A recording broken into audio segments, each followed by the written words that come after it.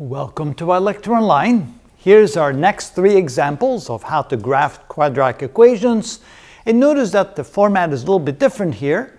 Notice that here we have y equals 2x squared minus 4. So we don't have the quantity x plus something or x minus something.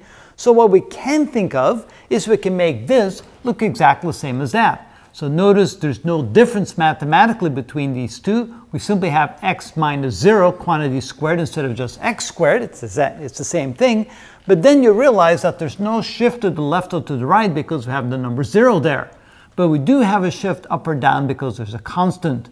And then also there's a number 2 there, which means y will grow twice as fast, so the parabola will be skinnier.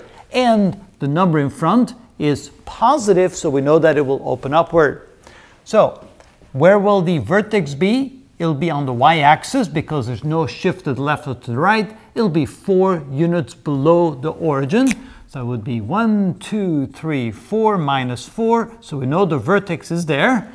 Then we know that the parabola will open upward. It'll be skinny because it grows twice as fast as normal. So the parabola will look kind of like this.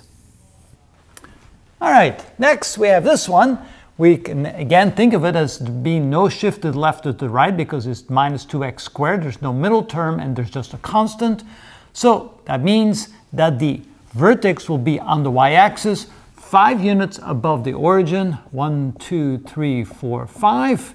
There's the vertex. And since there's a negative sign in front, that means the parabola will be opening downward. The 2 means that it will grow twice as fast, so it will be skinny.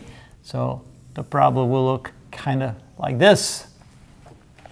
On the third example, again, there's no shift to the left or to the right. So that, need, that means the vertex is on the y-axis. There's a shift up of two units, one, two. And the parabola will open downward because there's a negative sign. And the one half means that y will not grow as fast, so it'll be a much wider parabola. So it'll kind of look like this. And that's how you very quickly can graph parabolas in with these kind of equations, or I should say graph the equations that are presented here that look like that. There's no middle term, so in this case, you know that the vertex will be on the y-axis, and the constant means that it will be shifted up or down by the number of units indicated. The sign in front will determine if it's opening downward or upward, and if it's a 2, it'll be skinnier. If it's a 1 half, it'll be wider. And so those are, those are the general principles of graphing these kinds of equations.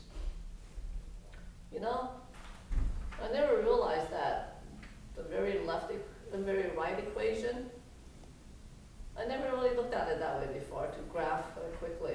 Because mm-hmm. when it comes to a different, when it comes to actually having a shift right or left, I just look at it as a completely different equation instead of the zero. Yeah. Yeah, I just I just thought of that. I go, well, that's one way to present it, and so that that knows that's how you know that there's a shift to left or to the right. If you can put it in this format, x minus a plus a number squared, then you know it shifted left or the right.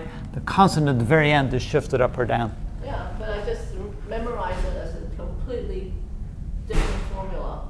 Yeah.